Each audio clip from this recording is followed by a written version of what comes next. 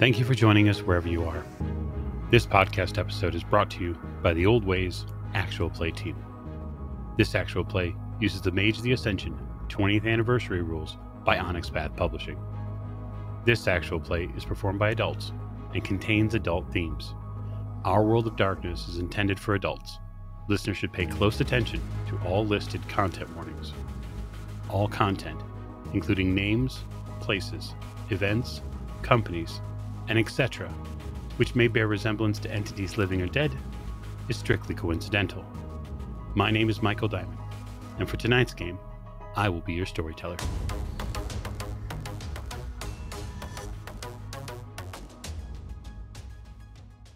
Thank you for joining us again on another episode of the Old Ways Podcast.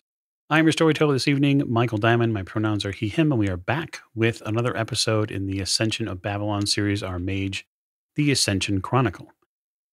We're so thankful to have you as a listener, and we're extra specially happy to have you as a Patreon supporter. If you haven't had a chance to check out what we offer on Patreon, you can at patreon.com slash the old ways podcast. You can also jump over to YouTube and see some of the things that we do over there, some special stuff as far as uh, conventions and cast interviews, and also join us on Twitch now at the Old Ways Twitch, uh, twitch.tv slash the Old Ways Twitch. I promise I will get it right at some point. And now we'll begin cast introductions to my right. Hi, I'm Allie, and I play Kayleigh Hannah Godfrey. And there was a giant big thing that took me by surprise. Interesting. Uh, and to Kayleigh's right. This is Aleko playing Dante Maxim Vargas Bailey, who has been given the kind of shot that only comes along once in a lifetime for a performer and his pet mink. Fantastic. I'm Bunny. My pronouns are she, her, and I play Dante's tutor, just kind of hoping that he doesn't break his body before I get a good crack at his mind. Well, I mean, we can't wait on that. Uh, to Bunny's right. This is Jake. I'm playing Oliver Devereaux. And last game, we got the band together, had a few laughs, you know, good times. Yeah, absolutely. I agree. This is to say nothing of that enormous sphere that was in the background. Minor thing. Right. Uh, to, to Oliver's right. Hello, this is Silas, and I am playing the artist currently known as Suits. Yes. Suits. Can't wait to see what that turns into. To Suits right.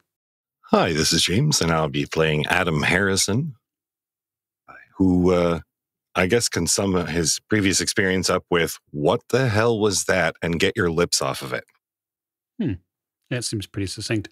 And last, but most certainly not least. Hi there. I am Rosie of Odd Duck Dice, and tonight I am playing Jules, Adam's avatar, who has no real response to anything about anyone's lips because they're your lips.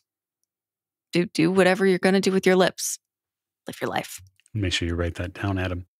So, when last we left our mages and their avatars, we had just at a cafe scene just off the strip had seen something glorious, terrifying, new and wondrous, all sorts of potential adjectives we could add to it.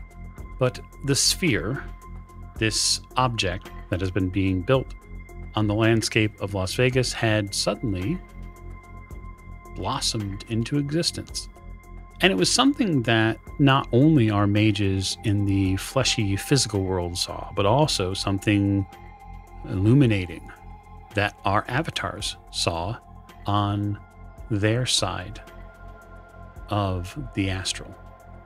That strange plane which none of our none of our mages can currently go to, but perhaps some can see little wisps of energy crackle here and there. And then everybody left because, well, life's got a list and everybody's got shit to do. And the one person who probably has the most to do to prepare for tomorrow is Dante. Because tomorrow's a big day. And wouldn't you know, before you can even blink, Dante, the 5:30 a.m. alarm is here. It is September 29th, 2023, and it's game day. So, how do you approach the big day? It would be too much to consider the, the potential outcomes, so uh, we will do our best to set that aside. And we're going to focus on uh, organization and preparation. Really boring stuff. Because uh, he was warned about the height of the venue and how they were deliberately avoiding, you know, aerial acts out of safety concerns. So his focus outside of showmanship, outside of fame, is, and considering, well, the trauma that got him here, and the fact that his face sometimes still reminds him that it wanted to get pushed through the back of his head. His thoughts go to his routine and to the inspection because the crews would have been working basically all night to get the, the rig configured for him. Um, the only, I guess, the only box that Dante wants to make sure he has checked because he can't focus on it later uh, is trying to make sure that he can get tickets for his parents, his two oldest siblings, uh, his nephew, and his three fellow head cases. Yeah. Head cases. So you'd have gotten word early, maybe late last night, maybe early this morning. Depends on really when you went to sleep. You'd have gotten a text. Um, it would have been from, probably Mhm. would have been from Miguel. Probably playing on his mom's phone. And it would have been a picture of the big screen television in the new apartment. And he's even like got the phone turned around Yeah, but it's too big. and like he's trying to take a selfie with the television. It's enormous. It's got to be like a 65 inch television. He can't take a picture of the entire thing. Good. And you can see he's like posed, his like chest out, the little kid like Superman pose. And you get that picture. And that's sort of probably what you wake up to. And then the text below it is, I love this new place. Well, I will. Uh, my response will be, um, good, because it's all we get. uh, don't break it. As far as the setup goes, um, it probably starts. They probably work the overnight. Um, pretty common actually in the convention and setup space when it comes to Las Vegas. Not uncommon for crews to work um, until 10 or 11. Um, all those crews generally, when they work convention space, are union crews, and so they're going to work probably from like like a like a three to maybe three or so there might be a late shift of folks that start at seven and work all the way basically until dawn. It all depends on what the convention space needs. Now, the Wynn is a convention space, of course, but the roof space is not, right? So it's a little special about what's going on up here. As far as your access to the space, um, you, you're not sure exactly when you're allowed to come and go, but you've been told you have access. You have to actually go check it out. Yep, I would. Uh, once once I feel confident that I have everything warmed up in the morning, I will do my uh, morning affirmations. I will stare at Tutor in the mirror, you know, while I'm kind of washing my face and thinking through what what needs to be done. So I have a question. I might have an answer. There's a part of me that really wants to do this, like. I want to say on my own because somehow I feel like what we can do is cheating. I, I know it's not. Like, I understand that it's not, but you, you know what I mean? Like, the other performers are doing their absolute best, and I'm going to do mine. But there's a lot on the line. There's a lot on the line. I think that you should consider that your new abilities are part of what makes your best yours. And so, while the others might be doing their best, you might have ways to ensure that it goes even better for everyone. And that's just part of your best. I wouldn't know. I wouldn't feel comfortable trying a, a new tool in the middle of performance. But right now, right now would be this would this would be the time because my my body feels ready. But I mean, I'm I'm sure you know how I'm not at peace at all. So um, I'm gonna need your eyes to make sure that everything's gonna go okay because I am not going through that stage again. I've already woken up once. I think that I will do my best to be here while you prepare.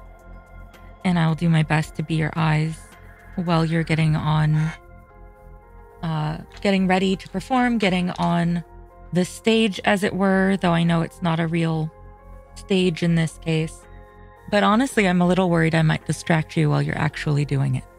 I've taken you off guard so many times at this rate that we've been going that I feel like most of our prep that involves me in any way should likely happen beforehand. Would you not agree that I've distracted you? Well, well, yeah, totally. Yeah, absolutely. You're distracting me now, but it's it's it's it's it's, I I need it. Okay, there's no one else here, so uh, I'm gonna go fetch Sophie, and the three of us. I'm gonna keep talking to Tutor on my way there. I'll I'll take the long walk uh, to the Wynn, and then I'm just going to start basically inspecting the equipment. What I'm hoping to be able to do um, is you know, based on on you know Dante's knowledge of the equipment and how it's supposed to work and his mastery of his craft,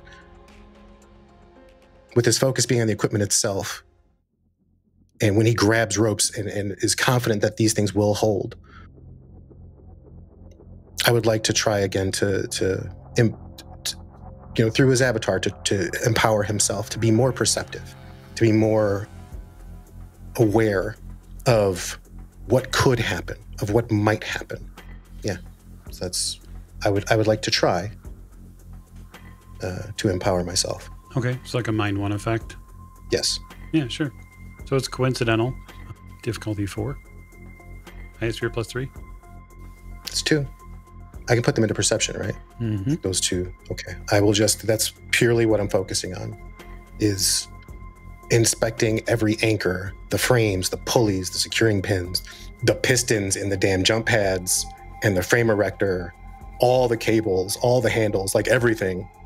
So for you, Tutor, what you see is Dante's eyes begin to dart around a little bit, and then you feel yourself, the self which is the avatar, get bifurcated. Hmm. Like you feel your essence move and change. And this is the way it's supposed to work. He you are part of that malleable clay for him to utilize. And you feel what he needs. What he needs is to be able to see what perhaps could be missing, what what could be hidden. And you watch as his you know the eyes sort of gain additional facets just behind the lens of the eye, not exposed to the public. Mhm. A nice, reasonably safe effect. Very well done. Uh, and then, yeah, if you if, if you want to roll perception to inspect things, I guess perception gymnastics. Sure. Uh, gymnastics is a is a specialty under acrobatics, uh, so it just that just means that tens are two, right? Yep. So difficulty is six. Is that correct? Diff seven. Seven. Okay. Standard difficulty in twenty is is uh, seven. Five. So five. Okay, Uh, once once I didn't roll any ones. Hey, that's kind of cool. Okay, so yeah, five. that is cool. So Tutor Dante does it right, and not only does he do the magic right, he puts it into use correctly. Well done. Yeah, there's no issue with the pistons. There's no issue with the, with the ropes, with the landings, with with any of it. All of it has been set up by someone who knows what they're doing, by someone who is good at what they do. There are some adjustments that you make. Those are personal adjustments, but they're not ones you have to make because something is faulty. As long as this stuff is as it is now, when you start your routines, everything is in place. As far as what could go wrong, well, where do you want to start? I mean, every single rope, every single piece of equipment is a potential failure point. So if you are bouncing off of this pad and you are leaping through the air, if for whatever reason it doesn't go right, you could land on your face. There is protective netting that is up maybe eight or nine feet on the side of the, you know, this roof, it's not foolproof. It, It's it- also not tall enough. it's not. No, because people, the guests watching, want to be able to see the sphere. And if you put up 20 foot netting, you're going to block the sphere. Oh, uh, I'd also like to note that the seats that I got my friends and, and family, I was hoping I'd be able to get as many as I wanted because I'm actually specifically asking to put them in the risers, which is the last place you want to be on a rooftop. Like it's the worst seat possible. But I don't want them to have perfect seats for the stage. I want them to be eye level, like 10, 15 feet off the lip of, of the building. Basically, where I intend to be or die.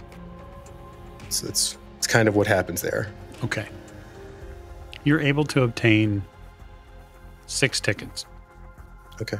You'll have to decide who they go to. Yeah, my parents' older brother, and again the my three miscreants. Okay. We'll, we'll leave you there for just a moment. Early morning inspecting things. Adam, there is nothing like waking up in Echo Park. There's nothing like waking up in a trailer park when your neighbor a few doors down tends to celebrate with gunfire. Gunfire. Now, you have known John for a long time. You've lived here. Your dad knew John, and John's on SSI, and he has very few cares in life.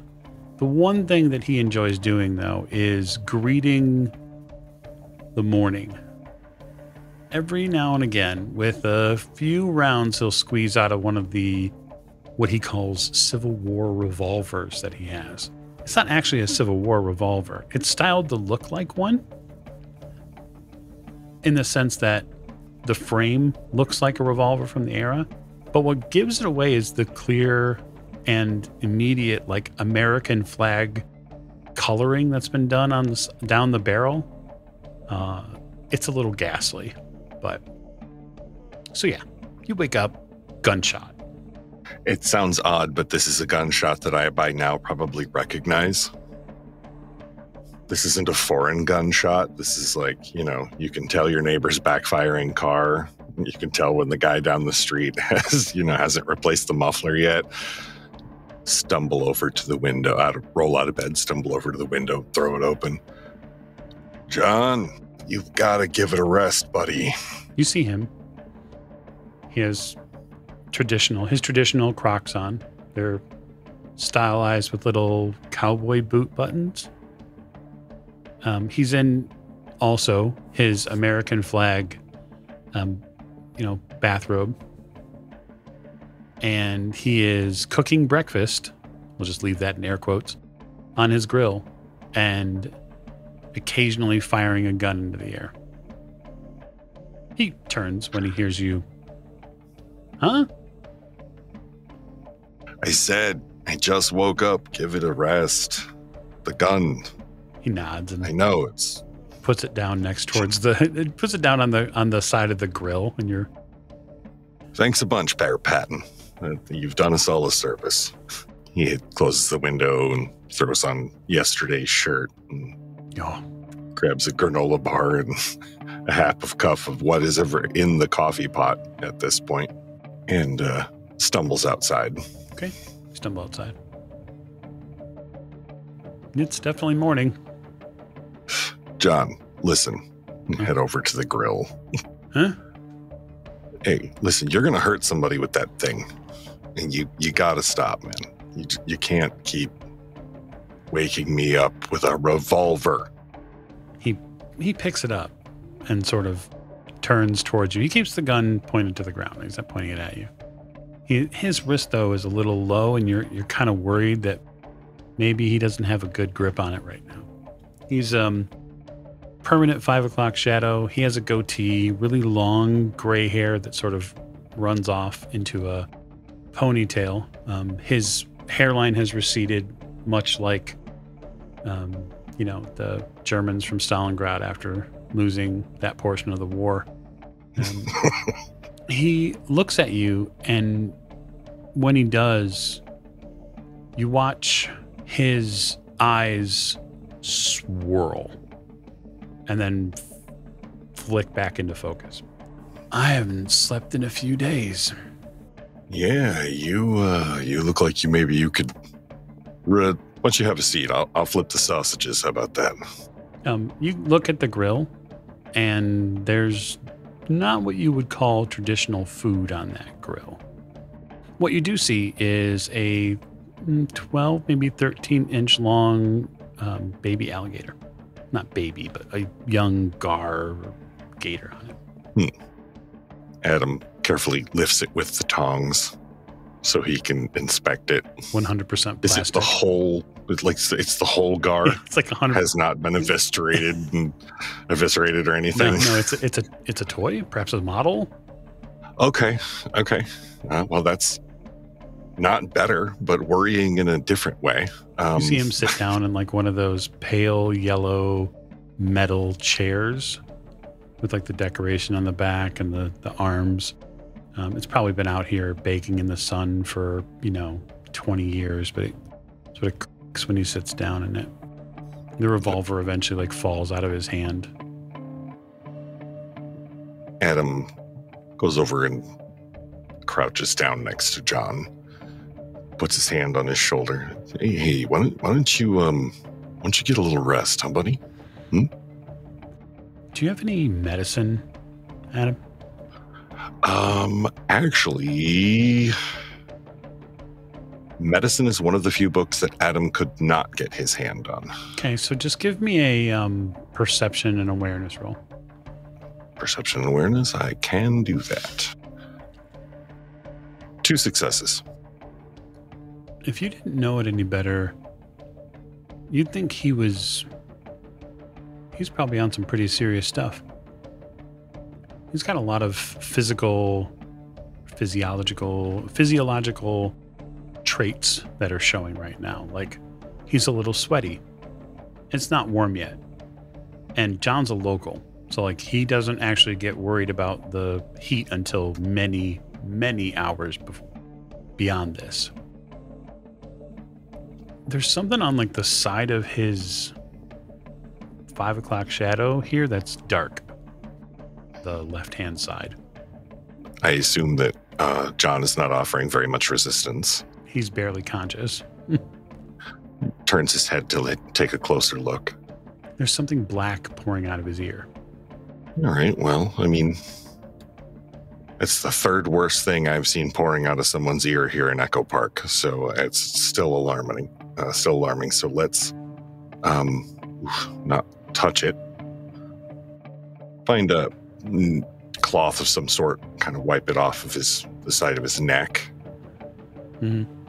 As you're turning to look for something, that cloth, uh, cute little fuzzy paw is right there, and it has it for you. Oh. it's it's stained, but it's there. Thanks, Jules. Oh, Jules. Hey. Oh my God, am I glad to see you? Fuck me, am I glad to see you? Hi, I am. Hang on, I'm. I gotta. I, hope this isn't something this guy needs. Kind of scoops the black stuff off of his neck and ear and cleans him up a little bit. Washes the side of his neck with a Miller Lite from the can he was that was next to the grill. He won't notice that he smells a little more like beer.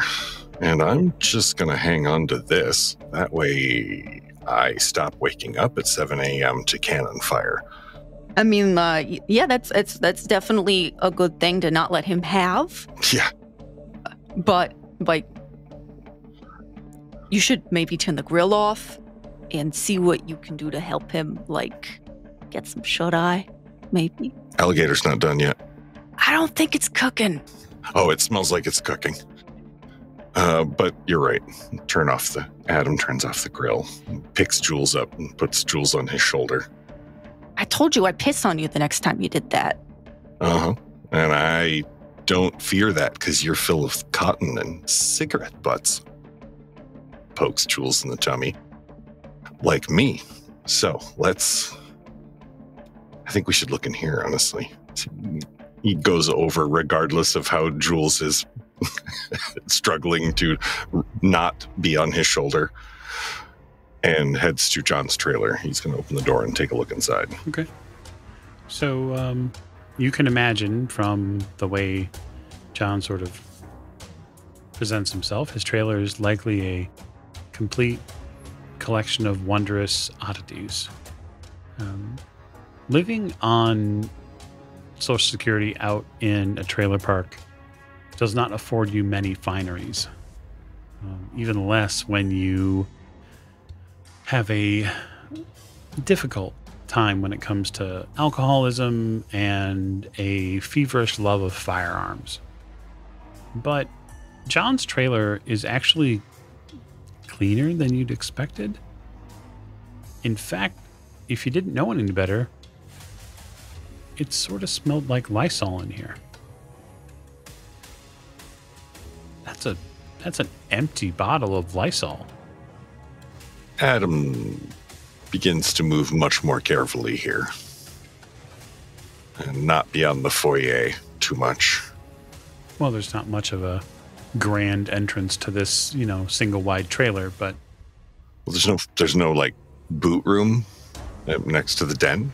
This is I mean I can't work like this. Okay. Um he scans around the trailer for things that are out of place um, other than the cleanliness which is obviously out of place but he's probably actually seen more than one crime scene and has this place been worked over and I mean, are the doorknobs all clean? Are the edges of door frames clean where they wouldn't be, where hands would go? Yes. And yes. In fact, the only thing you find that is a little strange is at a tiny desk that, well, if it can really be called a desk, it's more like a movable TV tray. But there is something there in a bag nearby, brown paper bag. Uh, you, it doesn't take a Sherlock Holmes to see that there's a crumpled bag sort of a little out of place, kind of tucked to the side of the couch. Adam starts to take a s- goes to take a step onto the carpet and stops for a minute. Okay, this this this is one of those. See, I've been studying Jules.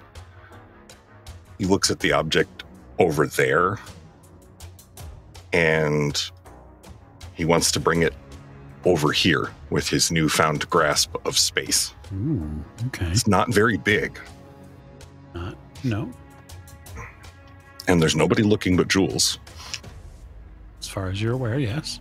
as far as I know. So let me let me make sure that you're Hmm. you're set to do this, right? So if you're going to um, attempt to sort of reach through space and move those points from one place to another, so that way you are closer to it without physically moving, you you could potentially do that with correspondence magic. Um, if you're going to attempt to retrieve something through there, you're going to need matter to bring it to you. Hmm. It's true, and I don't have any matter. will also be it will also be vulgar without witnesses as shit. because that's not Uh, that's not consensual. The rug is not okay with that. okay. Me and the rug are gonna have to talk later, but um, for now, he doesn't want to really. All right. You could, I will say this, you could open a correspondence window with correspondence That's too. more what he's right? thinking is rather than bring it to him Look at it. as in break down and transport, but a, a correspondence hole. Yes. Yeah, you could you could open a window, Okay. but we have to like talk about how you're going to do that. He's going to give that a shot. Okay, so tell me how. Justify the effect. Okay. He clears his mind, closes his eyes, uh, thinks about the size of the room and how and everything that the books he's been reading and Jules has been teaching that reality is a lot more fluid, it seems, than he has been told, including space and seemingly time. But he's not really worried about time right now. He's just got to get that thing from over on the other side of the room. So he wants to essentially eliminate the space between his hand and the object, pinching them together. Okay. So, what is your focus for correspondence? Focus for correspondence is the uh, book that he has, the um, How to Open Your Mind. And so he takes it out and he's thumbing through it as he's holding his other hand out and uses the teachings in there about closing his eyes, using his breath, and attempting to do something that previously he would have thought impossible. Okay. Roll Arete. Uh, so it's just you imagining it essentially in your mind. Um, you're sort of opening this wall of correspondence, and perhaps it, you'll flip to a page and be able to see what, what is revealed in the bag. Uh, he he is uh, specifically um, trying to read, or he's reading about the calling out into the universe and pulling thing towards you. That's an Arete roll. An eight and a three, so one success. Okay. So you flip the page. And and for you, Jules, you see what what what he's trying to do. You get the energy he's trying to call on. Right? He's trying to, with correspondence magic, bridge the gap between the two spaces. Um, it's a minor victory, not probably um, as strong of an output as he could, but you help him get to the right page. Your fingers sort of fly over the pages in the book. You lose the chapter in the space you were in, Adam. And when you open the book, you see an image there and that image is of a hypodermic needle and a needle which has been used. And there is a faint, dark substance that still resides within a portion of that injection device. Adam will attempt to reach to, to project his vision into more than vision and attempt to reach through and grab gently and carefully, not just because he's afraid of losing a hand suddenly. Uh, he's he's seen all of those Marvel movies and whatnot, but also because he doesn't know what the hell is in that thing, and he really doesn't want to get stabbed. But he attempts to bring it through to him or can it not be brought through because of no yeah, matter? because it's a it's a it's a it's If it's just a window. it's just a window for you to see through. Okay. When you have when Right, you have when that's you fine. have matter, you can pull stuff through. I concur, and I and I love the idea of your character seeing it in the book and then going, okay, and you're just kind of pressing your hand against it, and it looks just kind of silly and impotent. Yep. And then he looks for a moment kind of frustrated and slightly dejected and then he realizes that he's still seeing it Yeah, it's still really cool. I I mean, you're you're not there yet, buddy, but I get the idea because you see something, you want something, you reach for it, but uh, you you don't have that reach yet. But the seeing's cool. yeah, it's better than nothing right and what the hell is that turns the book towards jules I don't know. You're you're uh, you're probably still gonna have to go open the bag. yeah fuck it he just walks across the room and opens the bag Walk across the room, you open the bag. You see the used hypodermic needle. You see the residue. You don't see something you think you would see. You don't see a spoon. You don't see like the. What you're expecting is a hair a heroin kit. there's no kit here There's no kit here. He's known more than one junkie Oh yeah. Does it strike you as weird, Jules? You know, in for a penny, in for a pound. He goes into his bathroom, the bathroom area, the little, I'm sure it's like one of those little stall. Mm-hmm. Um, is there a medicine cabinet area in there? There is a medicine cabinet in there. The first thing that you get hit by when you get into the bathroom is the smell of bleach. Ah, That's two. He opens the medicine cabinet. A varying number of um, prescription pills are in here. Um, stuff for high blood pressure, stuff for cholesterol. And that's three. He walks, he grabs a high blood pressure med and he comes back out in the living room. He puts it down in front of Jules. Junkies don't get blood pressure medication refilled. They don't give a shit about their heart.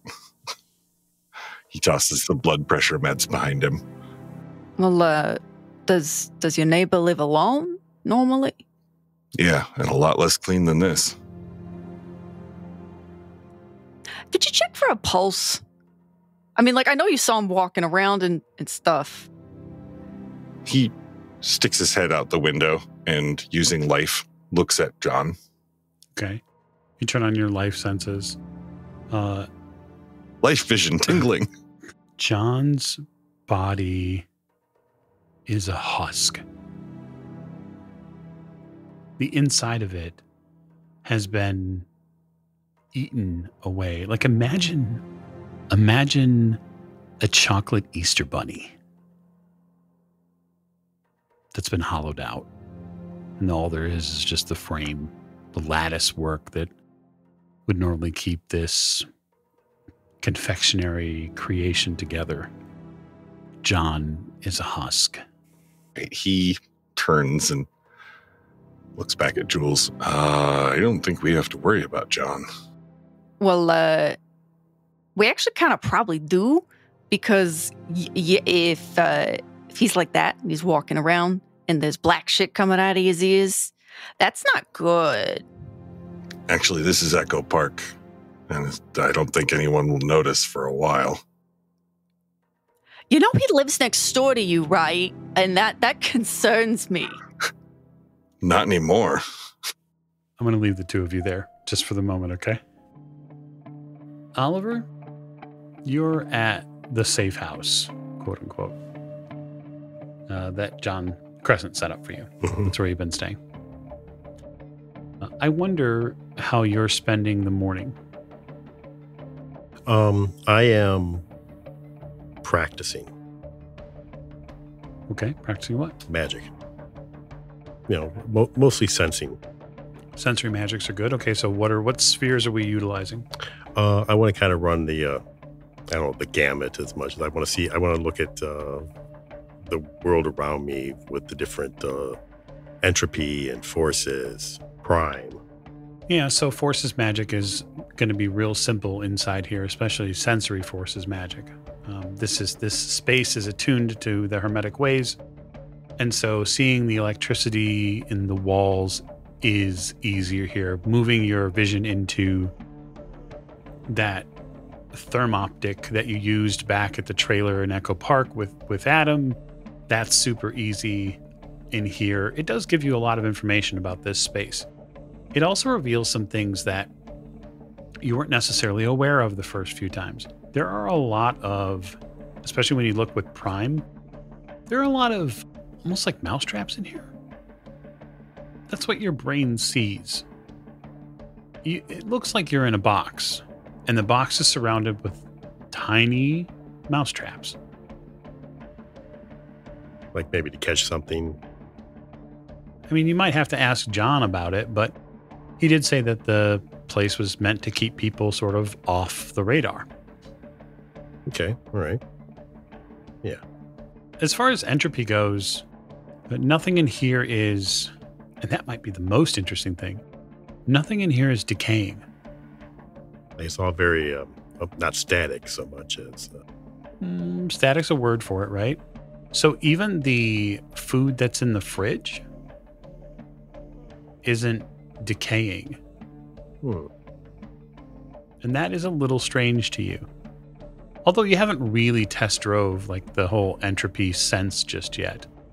But even in here you can tell like you can see the that there's some sort of aura on your body. And you get a sense that the almost like when you rub your fingertips together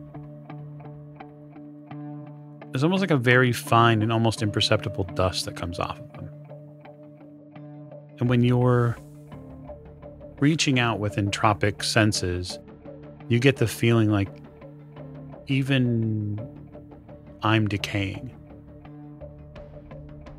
You're aging.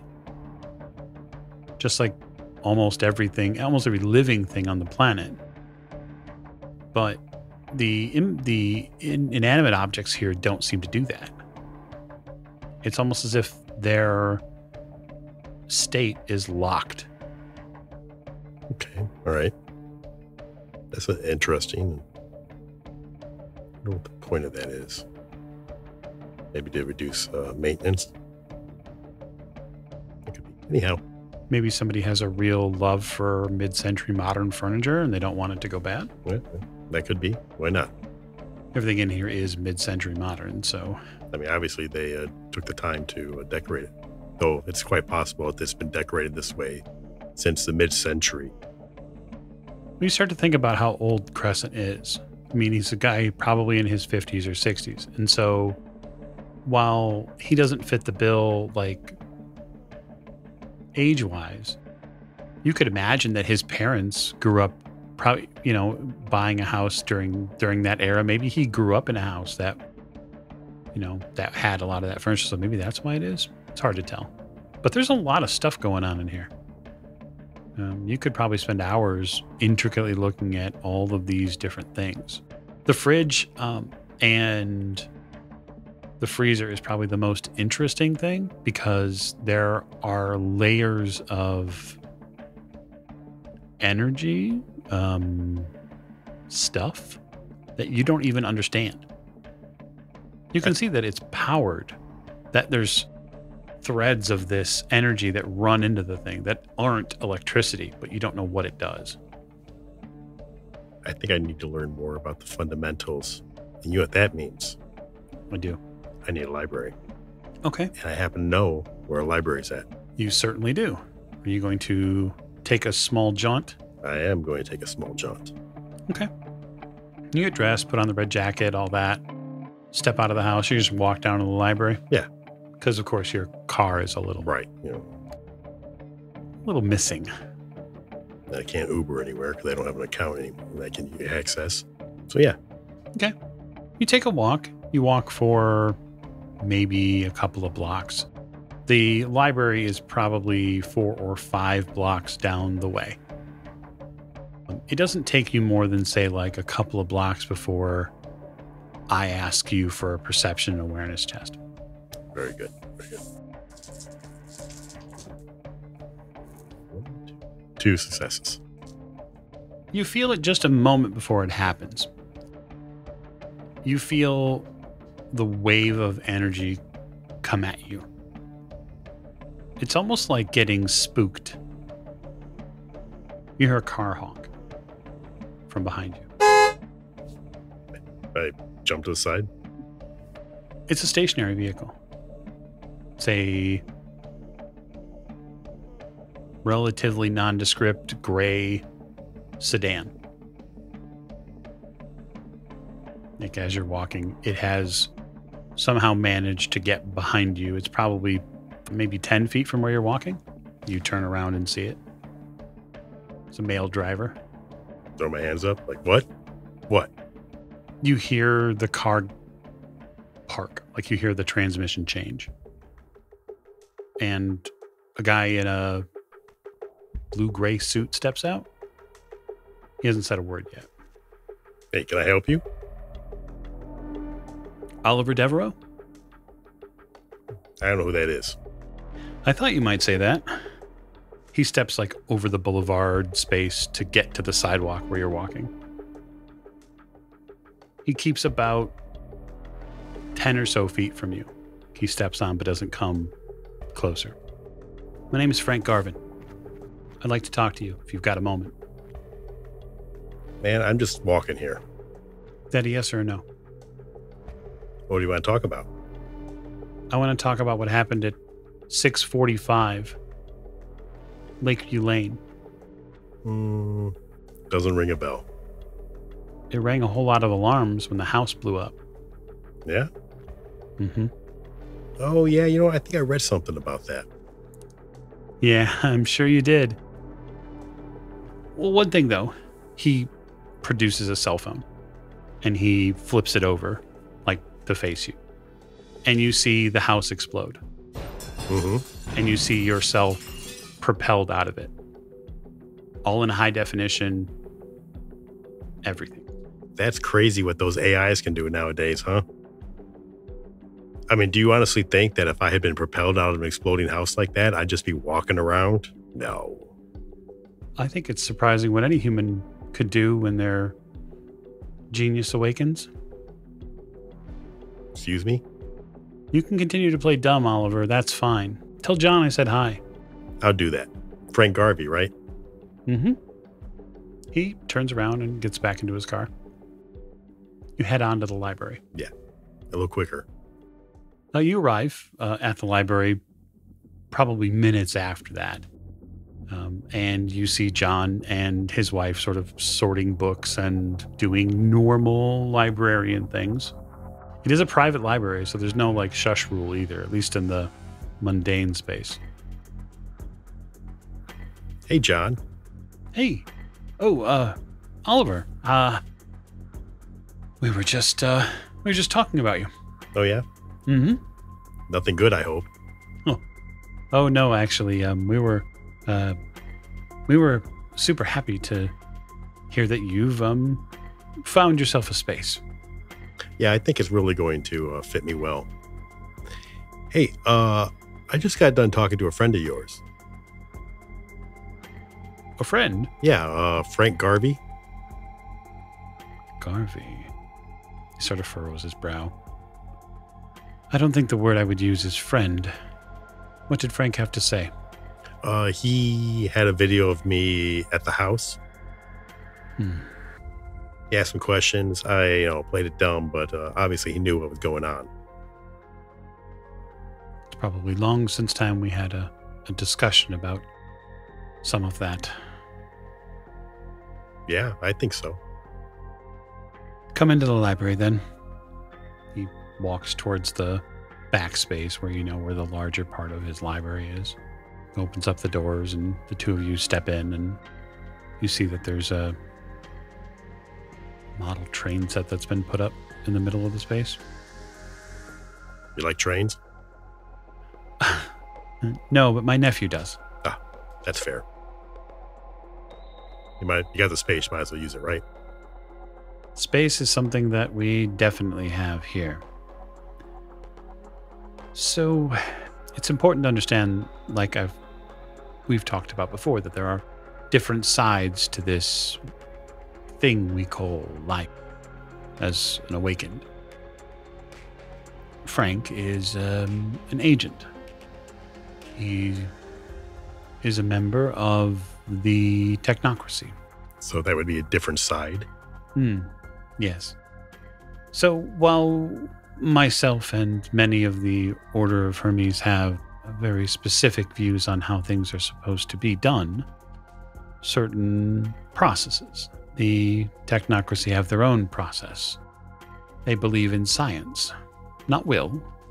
Um, and they are always actively recruiting. Oh, so if uh, Frank had gotten a hold of me first, it's likely I may have joined their side. It's certainly possible. Although I'm not certain that they would appreciate your uh, failure to follow all of the rules of life. Oh, okay. I, I get. I kind of get you. Yeah, I've run into a few of those people. He's a member of the New World Order. No, wait, wait. So the New World Order is real? Yes. Huh. It came out of the Order of Reason several hundred years ago. The Reason, Order of Reason came first and eventually birthed the Technocratic Order, which is now called the Technocracy, which is uh, an alignment of five specific technocratic traditions. And they use science. Five fingers, one fist. Seem kind of seems like they have a leg up. It sure does. But it doesn't mean they're right. I mean, I kind of get that the whole uh, sufficiently advanced technology. But It's more than more than a few blah blahs, Oliver. I've lost friends to Frank, oh, so it's that serious? Certainly. I mean, I think that would be something you would open with, wouldn't it? You know, before you uh, join uh, this group, just so you know, there's people trying to kill us. They're not trying to kill us anymore. Not as actively. Remember uh, what I said to you when you first came to the library and talked about this that the war is over. There are certain traditions within the nine mystic traditions that don't believe that. There are certain houses within the Order of Hermes that don't believe the war is over. I told you that too. Okay. All right. Yeah. I don't think Frank is interested in shooting anyone. But I do think that he is prepared to do his job and what the technocracy believe in. And that is to protect reality at all costs.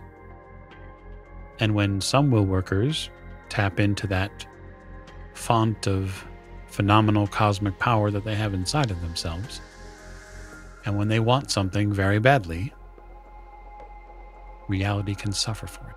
So, who does he say won the war? Oh, I don't think he uh, said anybody won the war. He said it was over. They someone tends to win. Well, yeah. I guess winning is a uh, eye of the beholder. You say it with a more of a uh, detente. I would say that the technocracy believes they won the war. And I think that it would be very easy to agree with them. But if they won and they found their grand consensus, he sort of gestures, you know, to the audience which is not here, then tell me why they have not taken control of everything. They believed in all of their heart, as mechanized as it is, that they won. But if they did, show me where. That is what they struggle with to this day. There's no uh, grand ascension, as it were. I think I think that ascension is a personal struggle. A road one person walks. This business about the entirety of humanity ascending at once. It's too difficult. I think that is something that many of us have come to understand. You might call it defeat, but I think even mages, perhaps especially mages, need to guard themselves against their own expectations for grand power. It isn't all delivered at once. That seems feasible. It seems like a good idea. I mean, everybody's got their own, uh, you know, thing, as it were. Yes. Frank does, you do, I do. Everyone does. The sooner you understand that and live by it, the better. Now, you came here for a reason. Oh, yes. Uh, I'm going to uh, look into expanding my knowledge of this brand new world that I have entered. Of course, the fever for knowledge gets us all. There are very few rules for Hermetic mages, only about 72 of them that persist to this library. But the one you must follow is books do not leave my library. And I'll know if they do. Very well. We have a storehouse of knowledge here, one which can shepherd you to new enlightenment. But it must stay here. No pictures either. That's fair. Okay. Oh, and um, seeing as that you're a um, newly awakened mage and now a new member of the Order of Hermes, I will require, um, as for use of the library in one month's time, uh, three pieces of Tass. Excuse me? Tass. Concentrated primal energy. Oh, I can help show you that process in time. And provided you cannot reach that ability just yet, we will put you on a specific plan. Tass is concentrated primal energy. It's useful for creating things, like wards around a house that you don't want people to get into, or perhaps a fridge that always seems to have fresh food. All those things take energy. You'll be allowed to take some of the library's energy for your uses, but you're expected to give back that energy to help keep it running. Yeah, the man's always got to get his cut. A small price to pay for hundreds of years of mystical knowledge at your fingertips. Okay. All right. If you feel it is unfair, I'm happy to renegotiate it. Well, we'll we'll see how uh, how this plays out for a while. Good. Away you go. Hey, I got, I got one more question for you. Certainly. I was checking out the wards. That's what you call wards in the uh, safe house, Yes. and there's these little mousetrap like things. hmm Do those like catch uh, snooping knives, as it were? Could. If they snoop too close. Yes. When you met Frank, was it this morning on the way here? Yeah. Do you ever wonder why it might not have been at the front door? Well, it was a safe house. I would assume that there wasn't anybody uh, that knows where we are. Or if they know of the safe house, they know better than to tread on the wards. Oh, okay, I see. Wouldn't want a gas leak. And um while I am mostly a humble bookkeeper, I am still a member of the Order of Hermes. Okay, well, on that note, I'm going to go uh, do some studying. You do that. Okay, Kayleigh. Let's discuss your evening previous and up to today. You decided that it would be a good idea to get your investigatory meat hooks into one Oliver Devereaux. And so you've utilized certain contacts and backgrounds to gather the information that you can. That has been given to you in your personal channel. You're aware of it. And so now you may act on that. Now, tell me how you'd like to further that investigation. Well, I officially have his full name now. Yep. And there was a technique that I utilized to find a previous skip, which is essentially following a life path, tracing of it. And I'd like to go and see if I can't find out where his car's be been repossessed to Okay. so that I can find the start of the trail and have it lead me back to him. Okay. So you have some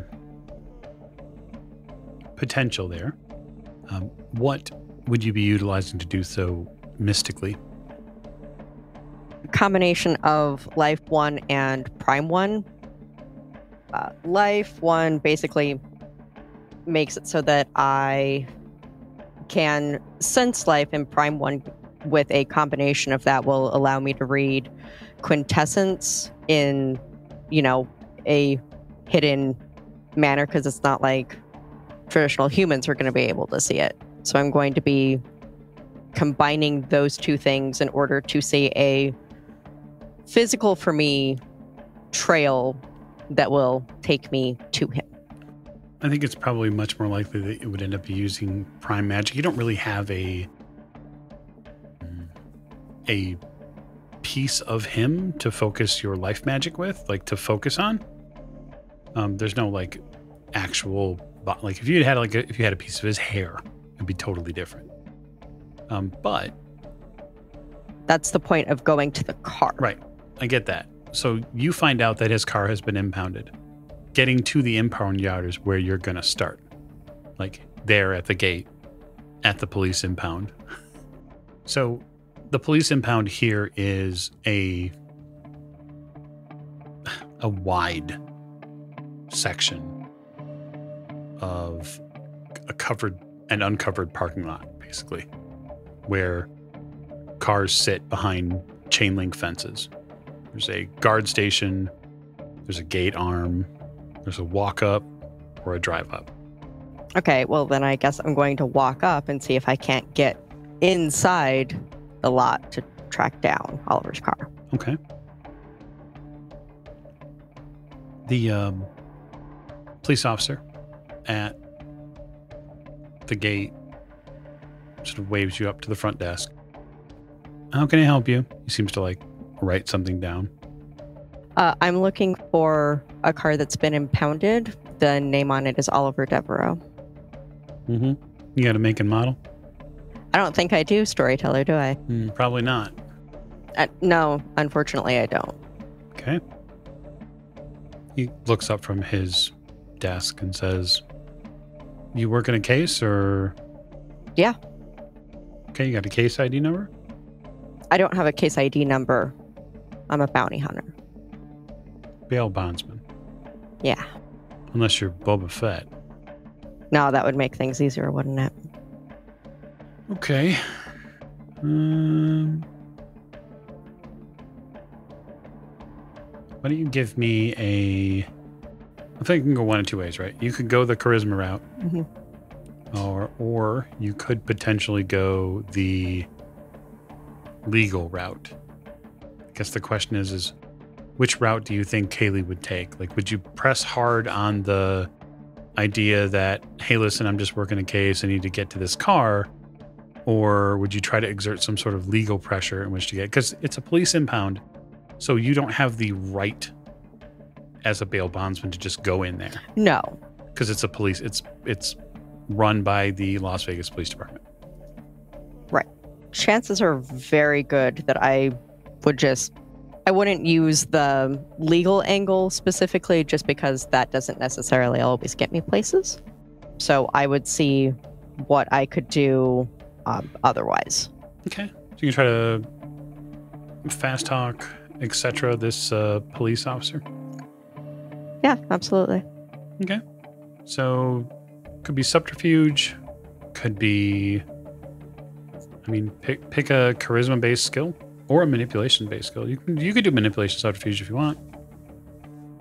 Pull up some sort of sob story or perhaps a crafty story, like, "Hey, this guy beat up a cop. Help me find him." Doesn't have to be true. Oh no, I would I would use the truth that he's wanted for questioning for an explosion. That's that's a pretty serious matter. So I would definitely use um, manipulation, subterfuge Okay. for that. So it's difficulty seven. Okay. Uh, I have two successes. He looks uh, looks over at you and says, uh, "Yeah, I heard about that. They uh, one of the guys on beat said that uh, they caught him at his house at one point, and then he poofed. All right, tell you what. You want to check the car out? That's fine. Check it out from the outside, right? No, no Mhm. funny business. You have five minutes. Okay. It gives you the lane and lot number that it's in. All right. I will go to the lane and lot number. Hey, Jake, what kind of car does Oliver or did Oliver drive? Um, I'm gonna say Mazda Protege. Okay. You find a Mazda Protege parked. Okay. Are any of the do any of the windows happen to be down? No. Okay. What color is this car?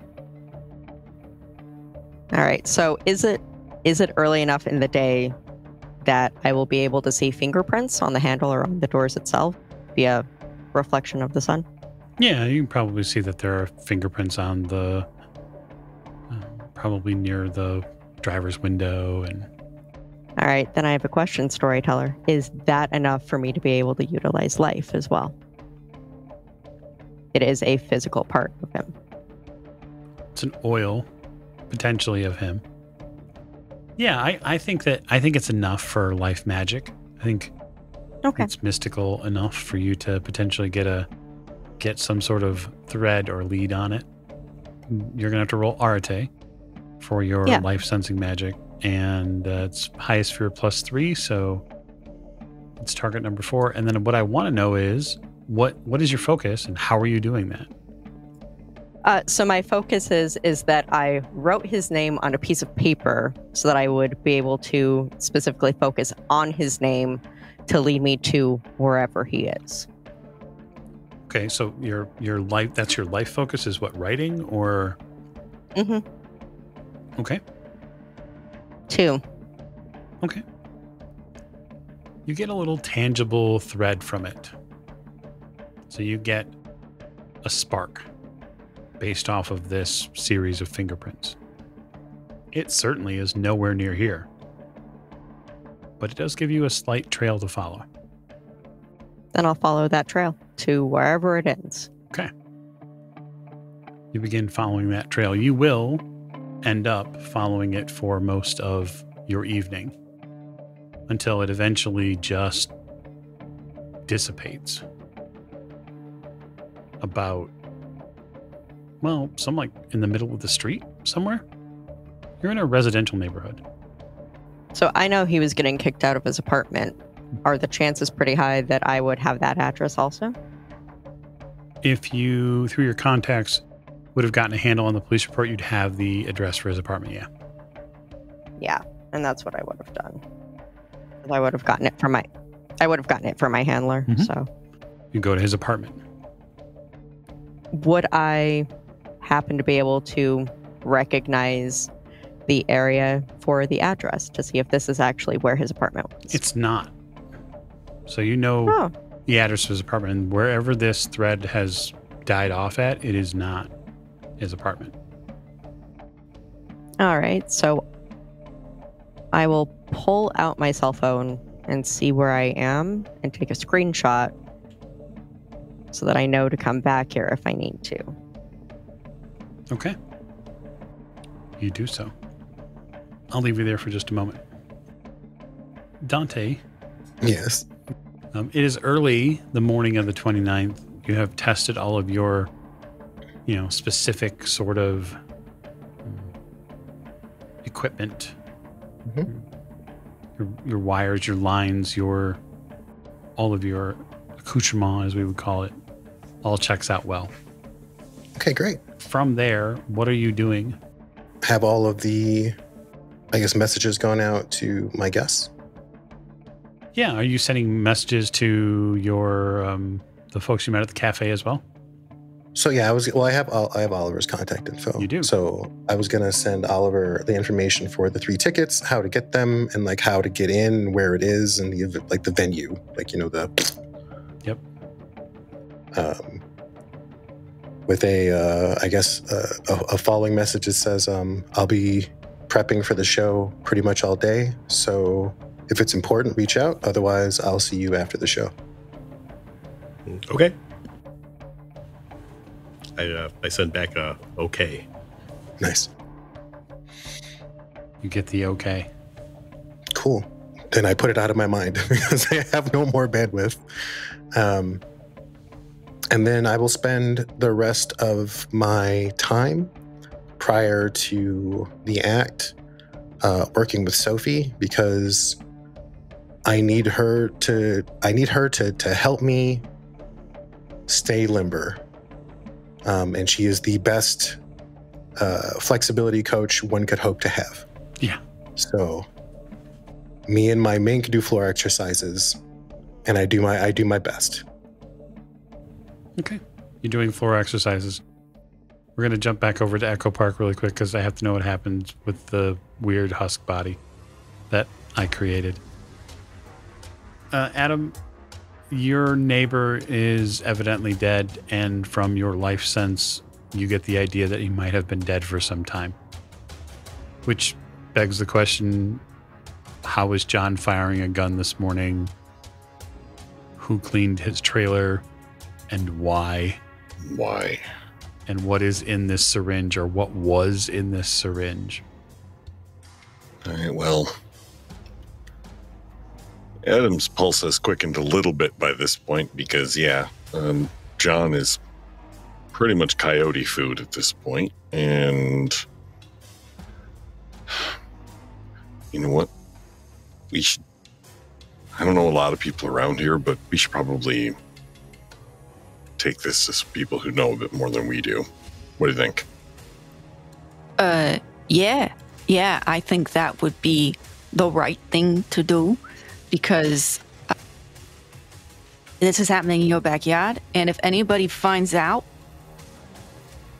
and you haven't done anything about it, I mean, like you knew and all, but some people got sticks all the way up their asses that like go up the spines and come out their ears, and it's uh, it would it would be you know best to avoid.